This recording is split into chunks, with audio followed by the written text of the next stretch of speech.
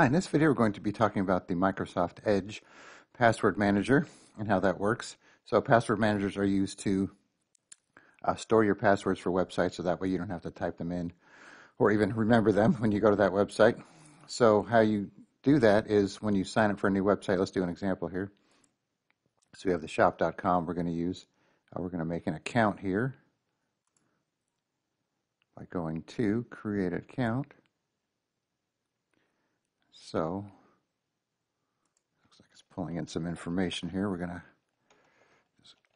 ignore that. See, it'll kind of pull in information from your saved uh, information in your browser as well.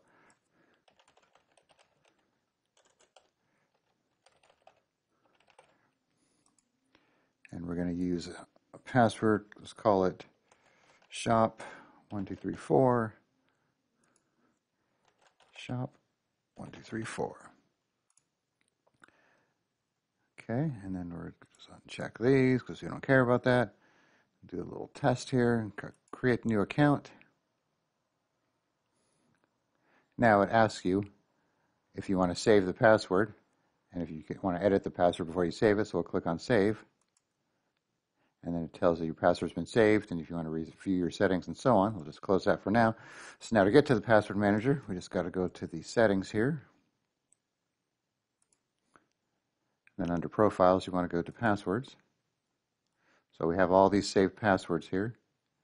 So here's the account we just made for shop.com and there's one that we have before. So if you have multiple accounts for the same website, you'll find them in here. All right, so what you have here, if you want to view the password, you could click on this guy here, and you'll need to know the PIN or account for Windows to do that. That way, somebody can't just hop on your computer and find all your uh, website passwords. So that's, that's the password we just made here. And this column, you have the health uh, status here. It says it's a weak password, and it's been used on two sites. Oops, right here. And apps, okay? And then if you want to uh, hide that, you could go to the ellipsis here, click on Ignore Health, and then just kind of hides. It's just more of a informational thing. It's not going to help make the password any better or you know help you out in any security that kind of thing. It's just more of a visual thing. And then you could delete the password. You could edit the password if you want to do that. So let's say you changed on the website and you didn't update your saved password here. You could come back in here and update it to match what you have on the actual website. You could copy the password if you want to paste it somewhere else. And then you have the change option, which uh, sometimes it works, sometimes it doesn't. It'll uh, take you to the website and let you change the password in one click here. So if we do this, see it's not prompting us to sign in here. So if we sign in, it just signs us in. So this one doesn't work. So let's try another one here. Let's try this Best Buy one here.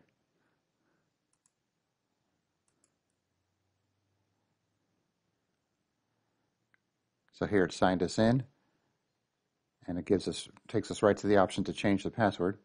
So we click on current password, we could have that entered from our remembered passwords. And then it'll also give you an option to uh, automatically create a strong password. And if you don't like it, you click refresh and you can see the password down here, what it's going to use. So like I said, this takes you to the website, to the change password section, and that way it'll let you change your password right on the spot. So you could use a generated password right here, and it tells you, you know, it's nice and strong. Or if you don't like that, you could just uh, change it to something else. So let's say, um,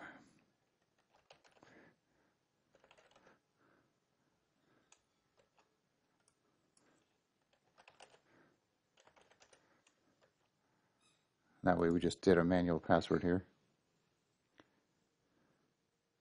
And click on save. But if you use this method, if you don't put a strong enough password, it's going to warn you and not let you uh, get by. So we're going to try something different here.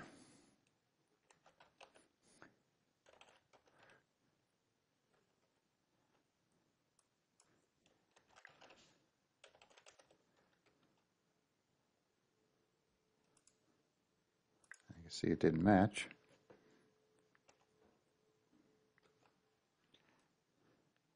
Okay, and just click on save. So that was the old password. Here's the new one. Okay, so now if we go back to our settings here, Best Buy, view the password. You can see there's our updated strong password. So the change option worked for this Best Buy website, but it didn't work for the shop.com website. So that's not a perfect science there, so you'll have to uh, find out for yourself uh, which ways work and which don't. And then up here, you could also manually add a password by clicking on Add Password button. Put in the uh, website URL, your name and password, and save it. And that way, it'll automatically be in there. You don't have to go to the website, put it in, and then you know click Save and have it do it manually. You, you could just do it this way yourself. And then if you want to import a password list from another user or browser, you could do that. Export your passwords, and then this will just toggle the password health column right there. And then at the very bottom, we have a never save password section. So let's say you create an account and it says, do you want to save the password? And you say no. It's going to put it here. So that way it's not going to automatically fill in the password for you when you go to that site. But if you want to uh, have it remember your password for you next time, you could just delete it from here. And then that way it'll prompt you next time to remember the password for you. And then, of course, if you have a ton of passwords, you could search websites here and just find what you're looking for. And at the very top, we have this offer to save passwords. So if you don't want it to offer to save your passwords at all, not even to prompt you, you know, anytime, you could turn this off here. And then if you want it to sign you in automatically, you could pick this option here. And then this option, you could set up a custom primary password that you could uh, type in before filling in website passwords. So this is computer specific, so this won't sync to any of your other computers that you log into. Then you have the more settings here. And then you have the option here, show alerts when passwords are found in an online leak. So if there was ever a security breach that Microsoft knows about that has your uh, email address in it or login, then you could have it shown here, and that way you know to go to that website and change your password uh, for security reasons. And then show the reveal password button in password fields, and then suggest strong passwords. So if you wanted to uh, choose a strong password for you, you could do this and then decide if you want to use it or not. So that's about it for passwords. Uh, you know, there's a lot of options here, so you could kind of fine tune the way your saved passwords work, and then, like I said, go in and edit them, change them, delete them, uh, go right to the website from there, and so on. And then, of course, you could set your options on here and kind of fine tune the way it works for you. So hopefully that makes sense. Once you go in here and play with it a little bit, it'll kind of, you know, start to come together for you because I know it's kind of a lot just to try and take in just by watching this video. But give it a shot and see how it works for you. All right, thanks for watching and be sure to subscribe.